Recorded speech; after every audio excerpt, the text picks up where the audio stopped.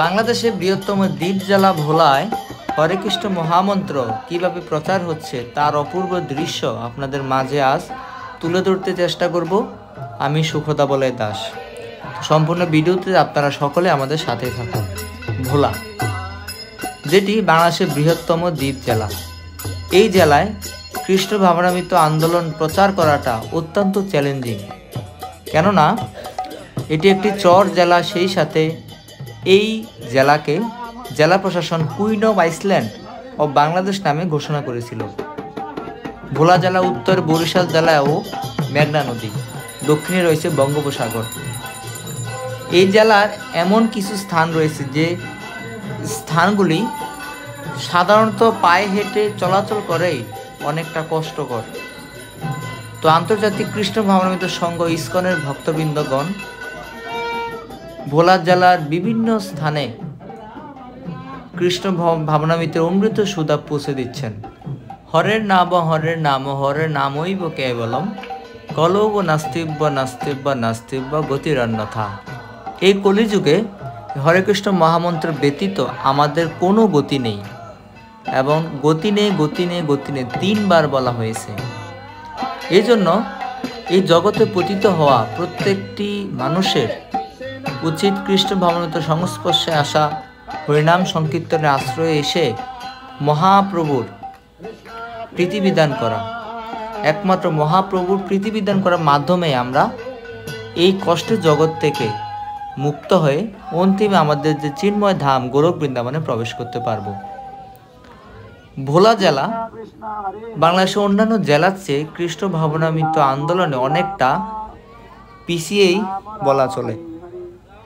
যেখানে ঢাকা, চট্টগ্রাম, সিলেট, কুমিল্লা এই সকল জেলায় কৃষ্ণ ভাবনামিত আন্দোলনের অনেক পূর্বেই শুরু হয়েছিল, কিন্তু ভোলায় সেটি শুরু হয় অনেকটা পরে। তো বর্তমানে বলতে গেলে ভোলা জেলায় আন্তর্জাতিক কৃষ্ণ ভাবনামিত সংঘ ইস্কনের ভক্তবৃন্দগণ, কৃষ্ণ ভাবনামিত অমৃত সুধা প্রচারের জন্য অক্লান্ত পরিশ্রম করে যাচ্ছেন। এই জেলায় বিবিধ প্রকার চ্যালেঞ্জ রয়েছে কৃষ্ণ ভাবনামিত অমৃত সুধা প্রচারের ক্ষেত্রে। অনেক বাগান, তারপর খাল, বিল, নদী, অনেক কিছু আপনারা এই ভিডিওর মাঝে দেখতে পাবেন। মাত্র গুটি কয়েক ভক্তবৃন্দ নিয়েও কীভাবে সবার গৃহে গিয়ে গিয়ে হরে কৃষ্ণ মহামন্ত্রের অমৃত সুধা পৌঁছে দিচ্ছেন, সেটি সম্পূর্ণ ভিডিওটি না দেখলে আপনারা কখনোই অনুধাবন করতে পারবেন না। শ্রীচৈতন্য মহাপ্রভু যিনি কলিযুগের পাবন অবতার, তিনি কলিযুগের এই অধম পতিত জীবদের কথা ভেবে গোলক বৃন্দাবন থেকে হরে কৃষ্ণ মহামন্ত্রকে এই জগতে নিয়ে এসেছিলেন।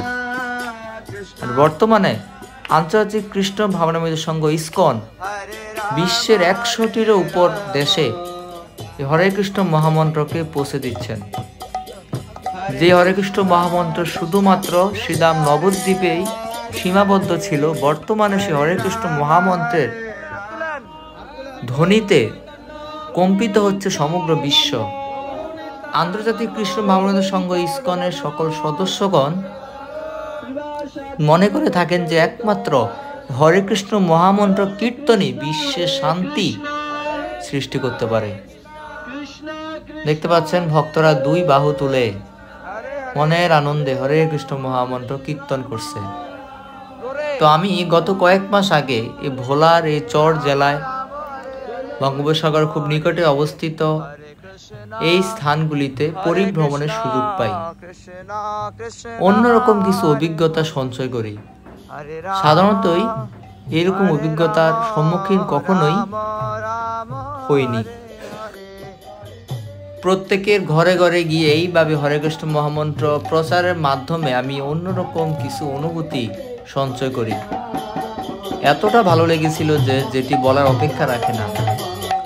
তো ইসকন বর্তমানে বিভাগীয় শহর থেকে শুরু করে উপশহর, জেলা, উপজেলা, তারপর পাহাড়, পর্বত, নদী, সাগর, সকল অঞ্চলেই হরে কৃষ্ণ মহামন্ত্রের অমৃত সুদাকে পৌঁছে দিচ্ছেন। তো সুপ্রিয় ভক্তবৃন্দ, আশা করি ভিডিওটি আপনাদের সবারই ভালো লেগেছে। তো ভিডিওটির বাকি অংশটি আপনারা দেখতে থাকুন। আশা করি আপনাদের অনেক ভালো লাগবে। একটি কথা বলে রাখি যে হরে কৃষ্ণ মহামন্ত্র কীর্তন প্রচার হচ্ছে।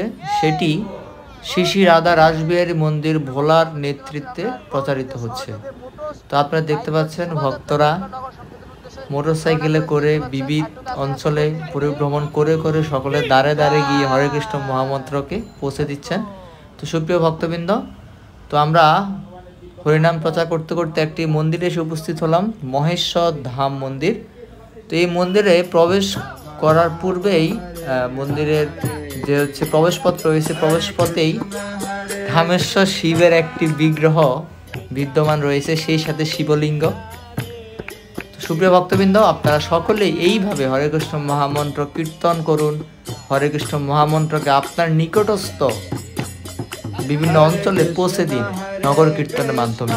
তাতেই মহাপ্রভু সন্তুষ্ট হতে পারেন। আর শ্রী চৈতন্য মহাপ্রভু যদি সন্তুষ্ট হয়, তাহলেই আমরা সহজেই এই কষ্টের জগৎ থেকে মুক্ত হয়ে ভগবানের পরম ধাম গোলক বৃন্দাবনে যেতে পারব। তো ভিডিওর বাকি অংশটি আপনারা দেখতেই থাকুন। হরে কৃষ্ণ।